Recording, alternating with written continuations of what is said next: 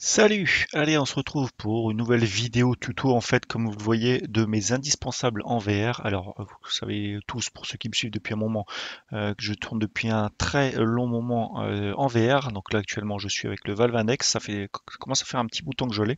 J'en ai essayé pas mal. hein. N'hésitez pas à aller voir les, playlists sur mes tests euh, en VR pour vous faire une idée de ce qui est plus ou moins adapté pour vous, parce que je vois pas mal de questions euh, passer pour ceux qui sont intéressés. N'hésitez pas à me poser des questions et à vous abonner euh, voir un peu l'évolution et les tests que j'ai pu faire en VR. N'hésitez pas aussi à me poser des questions, euh, pas à répondre si, si je vois, parce qu'on sait que des fois sur YouTube, différentes, euh, les différents commentaires sont un petit peu difficiles à, à voir dans le flow de certaines vidéos. Bref, euh, aujourd'hui, euh, je vous avais fait une petite vidéo il n'y a pas si longtemps que ça, euh, je sais plus, euh, il y a peut-être un an, sur comment afficher des, des- des paramètres et des éléments de jeu dans euh, votre écran ou dans votre triple screen. Parce que par exemple, pour prendre un exemple tout bête, un facteur 2 ne propose plus à l'heure actuelle une carte. Donc je vais vous le mettre en vignette là, je sais pas, enfin bref, on verra bien, un peu tout en haut, comment afficher la carte ou un autre élément sur votre jeu. Là maintenant, il s'agit d'un tout autre problème, c'est en VR. En VR, effectivement, on peut pas faire ce qu'on veut. Donc je vais vous proposer deux petits euh, logiciels, comme vous le voyez, FPV FPS VR et OVR Toolkit. Alors d'ores et déjà, euh, je vous le dis clairement, ils sont payants. Alors on va commencer par le premier. Le premier c'est FPS VR. FPS VR, vous voyez, il est ici à euh, 3.29. Alors c'est pas la mort, c'est un premier logiciel qui va vous permettre de voir en fait les ressources euh, utilisées par votre PC in-game. Ressources utilisées, pourcentage utilisé et, euh, et, et les FPS en cours. Ça c'est le premier logiciel. Le deuxième, qui lui est à 9,99€ OVR Toolkit, donc qui est en version bêta si je ne me trompe pas, vous permet lui de euh, d'afficher n'importe quelle fenêtre, je dis bien n'importe quelle fenêtre, euh, en surimpression sur la VR. Donc ça, vous, je vous mettrai, hein, de toute façon, euh, je vous expliquerai un peu comment ça marche. Ça vous permet d'afficher ce que vous voulez, euh, toutes les applications que vous avez ouvertes euh, dans votre dans votre navigateur ou sur votre PC, vous pouvez les mettre sur la VR. Donc voilà, c'est un grand grand intérêt, notamment en sim. Donc voilà, je vous cache pas, les deux logiciels sont payants, au moins comme ça c'est clair. Si vous voulez pas mettre de l'argent dessus, passez votre chemin, c'est pas la peine. Par contre, encore une fois, pour un petit package à, à 15 euros, même moins de 15 euros même, je, je dirais, c'est vraiment deux logiciels qui sont qui sont vraiment très pratiques, sont pas si onéreux que ça, et si vous faites pas mal de VR, comme c'est mon cas, c'est vraiment très utile. Donc voilà en gros euh, ce que je peux vous dire par rapport à la présentation de cette vidéo. Euh, je vous laisse les deux. De toute façon, dans la description, je vous mettrai des chapitrages, donc c'est-à-dire que euh, des, des raccourcis, si vous voulez par exemple zapper le OVR Toolkit ou zapper le FPS VR, ça vous pouvez directement dans le- l'endroit de la vidéo qui vous intéresse. Et puis je vous montre ça, et puis on se retrouve à la fin de la vidéo pour un petit résumé.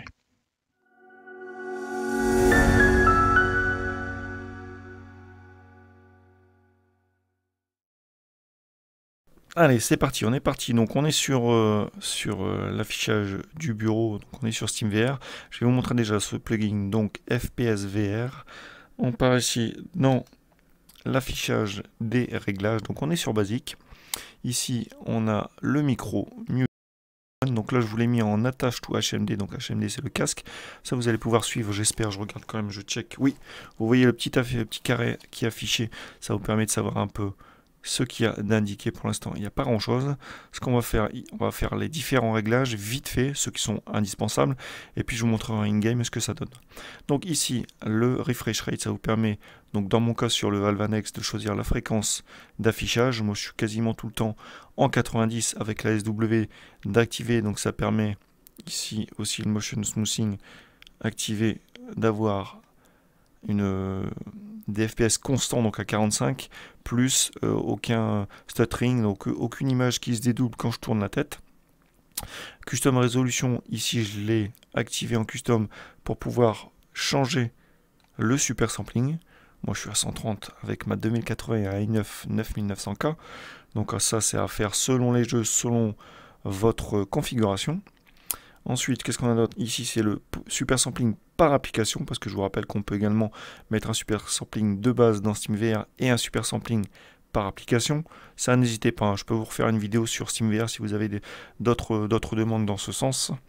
Alors, on va aller sur l'overlay, c'est là qui nous intéresse le plus. On a le small, celui que vous avez actuellement d'afficher qui correspond à nombre de FPS, le GPU température, pourcentage d'utilisation, CPU la même chose, on a l'heure en haut à droite et on a le micro, le petit symbole de micro, vous voyez la petite, le petit afficheur vert, je vais arrêter de parler, il va diminuer.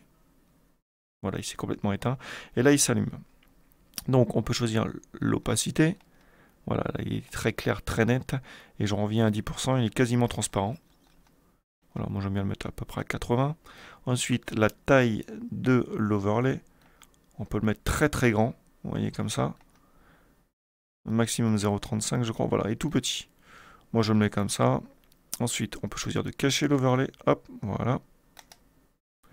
Et là, j'utilise, juste pour info, la manette Xbox 360. Pour ceux qui n'ont pas de contrôleur, vous pouvez utiliser ce plugin, ce logiciel avec une manette Xbox. Il n'y a aucun souci là-dessus, même si je pense que 80% des, même peut-être plus, des gens qui ont un casque ont les contrôleurs. Donc là, pour le SimRacing, ça ne pose pas de problème. Ici, on va voir si on veut voir l'arrière-plan ou non. Je mets oui. Hop. Comme ça, je vois à travers plus simplement. Ici, on peut choisir la position de cet afficheur si on a un contrôleur d'activer ou non. Donc, par exemple, vous voyez, s'il n'y a pas de, de contrôleur d'activer, ce qui est mon cas, donc il est activé au casque. Alors là, vous, ne le voyez pas, je crois que de tête, il est au milieu de l'écran. Oui, mais normalement, il suit mon regard. Il est attaché au HMD qu'on voyait ici. On peut le mettre suivre si je me déplace en bas de l'écran. On peut mettre sous l'écran, là vous le voyez, quand on est en position assise, là, il bouge pas du tout.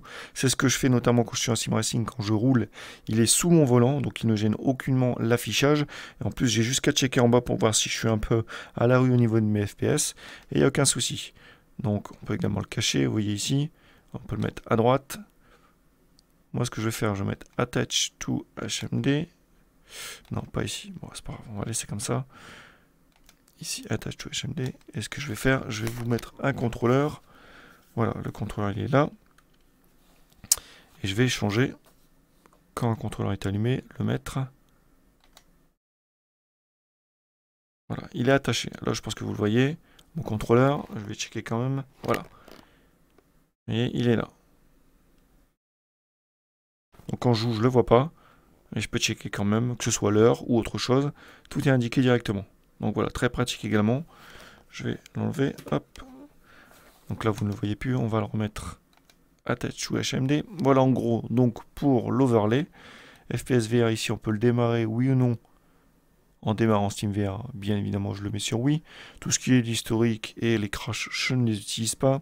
Le raccourci clavier pour activer ou désactiver le plugin, je n'utilise pas non plus. Ici, en fait, show graph off on, vous avez la différence, moi j'aime bien la voir, je le mets sur on, on verra tout à l'heure ce que ça donne en jeu. Euh, L'overlay, moi je vais remettre, je le mets en full. Voilà, là il est en full. Il est peut-être grand, mais je vous le rappelle, hein, je le mets tout en bas de mon, mon tableau de bord, ça ne se voit pas du tout. FPS vert, j'avais terminé. L'audio, alors ici, le sortie du casque, l'entrée, donc le micro, et le mirroring, savoir où euh, la sortie du son va également. comme moi, dans mon cas, si je record, ça peut être intéressant. Hop, je check si ça marche. Oui, ça marche. Euh, ensuite, ici, le volume sonore, le volume du casque. Voilà, en gros. Ensuite, toutes les autres parties. Pour ce logiciel-là, je les utilise pas puisqu'on les retrouve sur, euh, sur le plugin et sur les paramètres de SteamVR. La seule chose que j'utilise ici, c'est Clock. On a soit une alarme, Imaginons que vous deviez euh, arrêter de jouer à 23h, vous mettez l'horloge en route, ou alors si vous voulez mettre un timer, imaginons que vous savez qu'une course dure, euh, alors je vais le mettre sur euh, reset, qu'une course dure 45 minutes, voilà je mets ça, vous faites on, alors je vais peut-être le mettre comme ça au moins, comme ça vous allez le voir, on le met sur on, voilà, et vous voyez, ça décompte. Bien évidemment, quand vous quittez euh, le petit plugin, il reste allumé. On n'a pas de rappel sur l'affichage, mais il y a une petite notification qui s'affiche dans le casque et un petit bruit. Ça reste à peu près 5 secondes. C'est pas gênant et ça vous permet de savoir que vous avez terminé. Soit terminé votre course, que le temps est imparti, écoulé, soit que, euh, je sais pas, si vous aviez un rendez-vous, vous êtes dans la journée et vous devez arrêter de jouer à 16h, voilà, vous le mettez en même temps, comme ça, moi, ça vous permet de vous notifier sans mettre euh, autre chose en route, et vous le voyez directement dans le casque. Voilà en gros ce que j'avais à vous dire pour euh, FPS VR. Ce que je vais faire, je vais lancer une petite session de jeu. Voilà. Bon, là, il n'est pas, il pas directement, mais c'est pas grave. Alors, vous voyez, au niveau des affichages, je regarde juste si c'est bon. Oui, c'est bon. Au niveau des affichages, vous voyez que FPS, je suis à 45. Donc, comme je vous avais dit, j'avais mis 90 en rétroprojection. On a 45, entre guillemets, je ne vais pas dire pareil, mais voilà, 45. Pour moi, c'est jouable, il n'y a aucun souci. Ensuite, ce qu'on a en dessous, la température du GPU qui est en train de monter à 59, l'utilisation 60%, le CPU 52 degrés il commence à monter aussi et il est utilisé qu'à 13, 15%. On a également le GPU framerate. Donc là on est à 10, 12 tant que le bar graph il est dans le vert, on est correct. On est bon au niveau euh, de la fluidité et on commence pas à être limite en termes de framerate.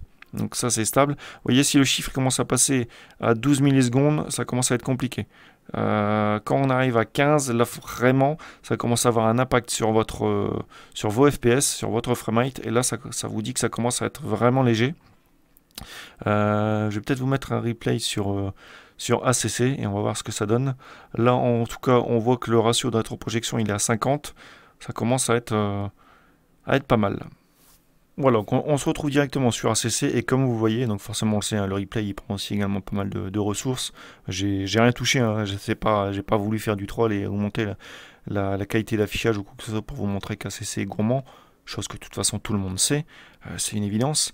Euh, vous voyez là, en termes de GPU framerate, je, je descends assez souvent selon la caméra.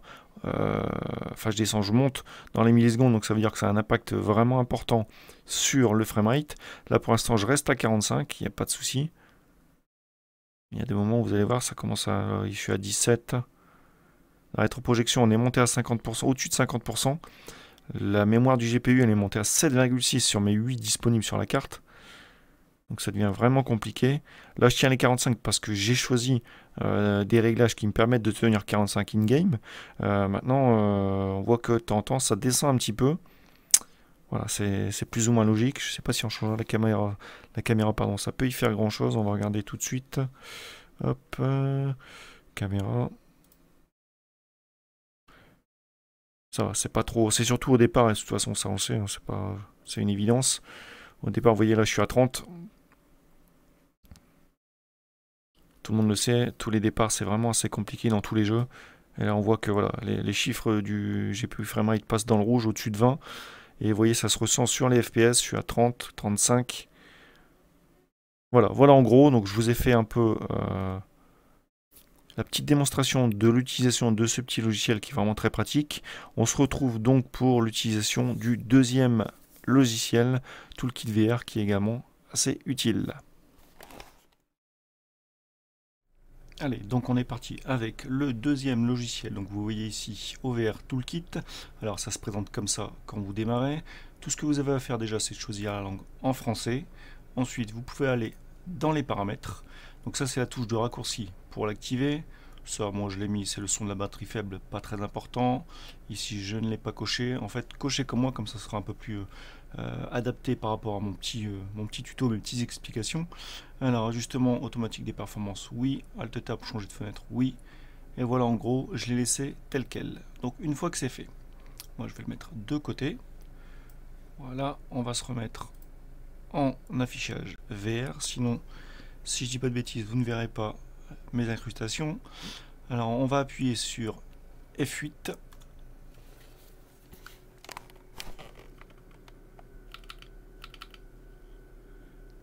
Alors, je vais ouvrir avec le deuxième contrôleur. Vous voyez, là, j'ai plus rien. Là, j'ai le menu. Alors, dans le menu, je regarde juste, je check si vous l'avez. Voilà, dans le menu. Tout ce qu'il suffit de faire, c'est liste des fenêtres. Là, c'est la première ici. Vous la fermez. Hop. On va faire...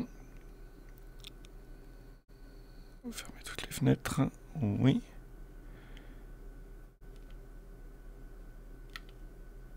Et on va faire créer une nouvelle fenêtre. Voilà. Là, j'ai la fenêtre de base qui vient de s'afficher. C'est en fait mon écran. c'est le, le, rendu de mon triple screen. Moi, ce que je vais faire, c'est passer la fenêtre. Et là, en fait, vous pouvez choisir mon bureau 1, mon bureau 2 et toutes les fenêtres en fait que vous avez ouvertes dans le dans votre, euh, dans votre navigateur ou sur votre PC en fait. Donc il suffit de dérouler, hop, alors soit avec le stick, soit avec le petit embout ici. Voilà. Qu'est-ce que je vais pouvoir vous mettre? Par exemple, si je mets Steam, hop, voilà.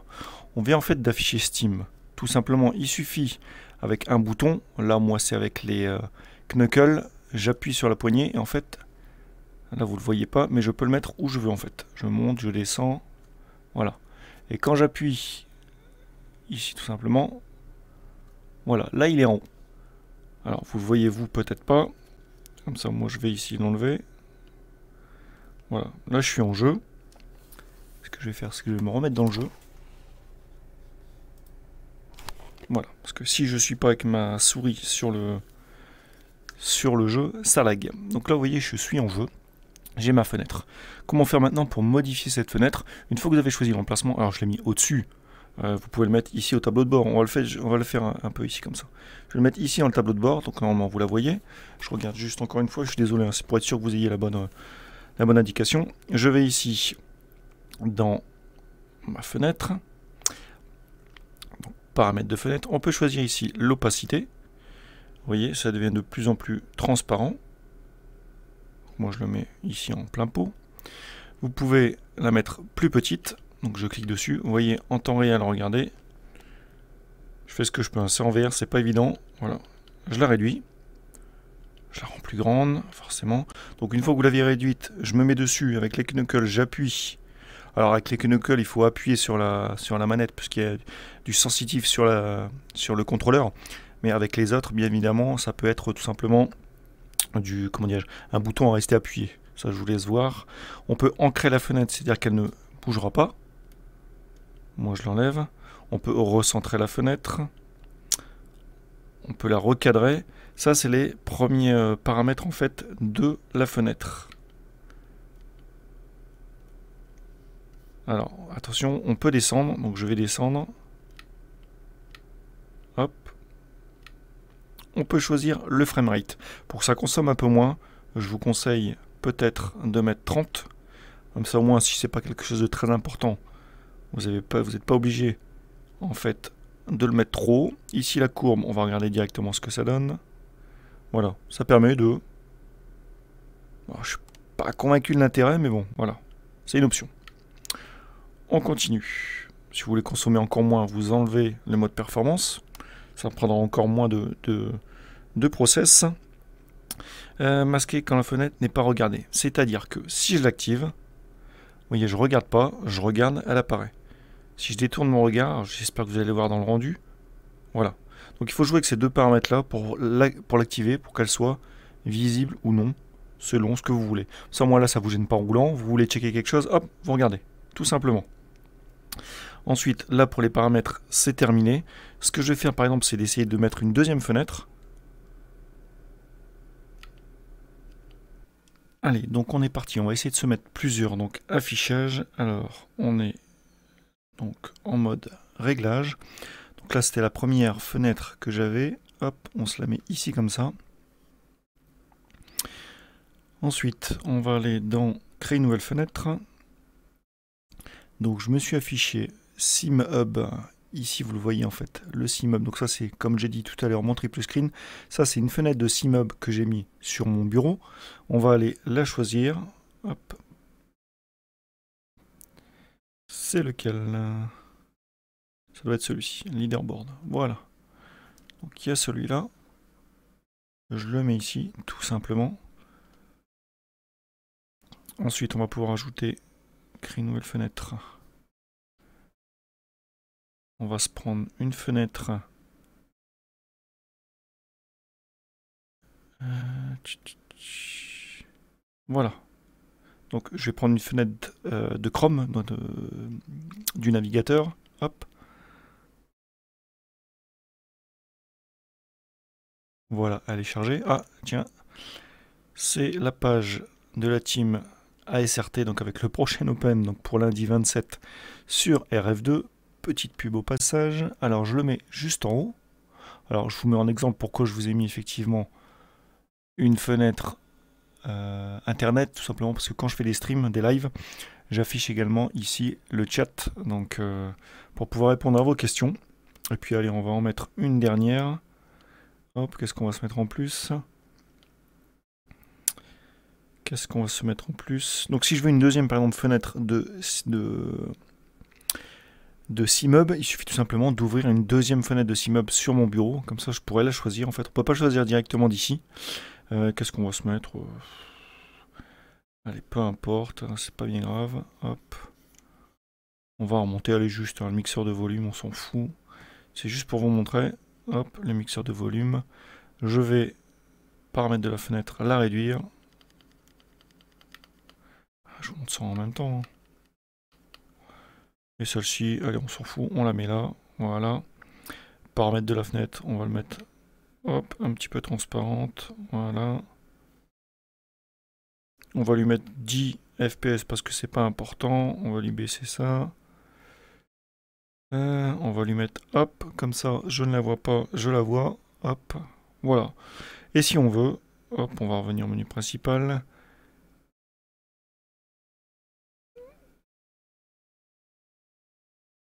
Voilà, liste des fenêtres. On revient ici. Donc là, j'ai ma préconfiguration. Et ce que je vais faire, je vais laisser ici et on la bloque. Voilà, elle est sauvegardée. Si je clique sur 2, je n'ai plus rien. Vous voyez et si je reviens sur 1, voilà, tout est préconfiguré.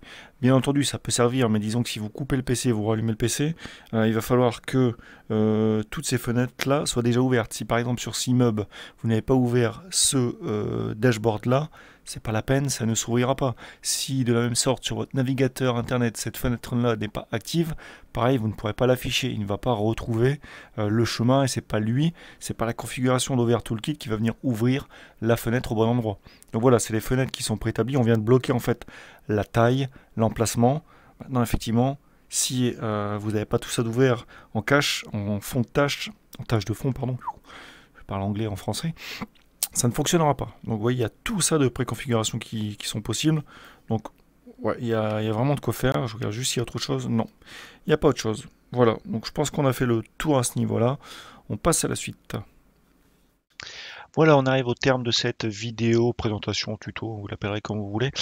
Donc j'espère que ça vous aura plu. N'hésitez pas, si j'ai pas été assez clair sur certains aspects, à me poser les questions comme d'habitude dans la description. Euh, qu'est-ce que je voulais vous dire? Bah, Encore une fois, c'est les deux logiciels que j'utilise quasiment tous les jours, parce que je roule quasiment tous les jours, ou alors je suis tous les jours sur euh, un peu de, un peu de VR, donc c'est ceux qui m'ont semblé les plus indispensables. J'ai l'impression que FPS VR est un petit peu plus stable qu'OVR Toolkit, qui est encore en, bêta, il me semble. Donc voilà, il peut y avoir des petits soucis, mais au quotidien, ça me pose aucun problème c'est vraiment les deux trucs que je trouve euh, vraiment euh, à ne pas louper. Alors pour revenir par exemple sur OVR Tool qui permet d'afficher des, fenêtres un peu partout, euh, j'avais vu passer sur YouTube d'autres youtubeurs qui avaient fait, je crois que c'était Adam, Adam qui avait fait notamment un logiciel free qui est gratuit, open source, alors je sais plus le nom, enfin bref, ça m'avait l'air, alors moi déjà ça ne marchait pas chez moi, et ça m'avait l'air assez problématique euh, à régler. Enfin, c'était euh, c'était un peu un peu un peu chiant je trouve euh, à régler. Bon bien sûr c'est gratuit donc on peut pas trop lui en demander. Mais bon lui avait l'air satisfait pour son utilité donc bon moi j'ai préféré ce, ce logiciel OVR Toolkit qui me qui correspond plus à ce que j'ai besoin et qui le trouve assez assez simple d'accès donc euh, voilà en gros, n'hésitez pas encore une fois à me dire ce que vous en pensez, si vous avez passé le cap, si vous les avez achetés, si vous les aviez déjà. Et puis encore une fois, si vous avez des corrections à apporter sur mes différents, euh, euh différentes explications du logiciel, eh ben n'hésitez pas, on se retrouve dans les commentaires pour en parler. Allez, je vous dis à une prochaine, salut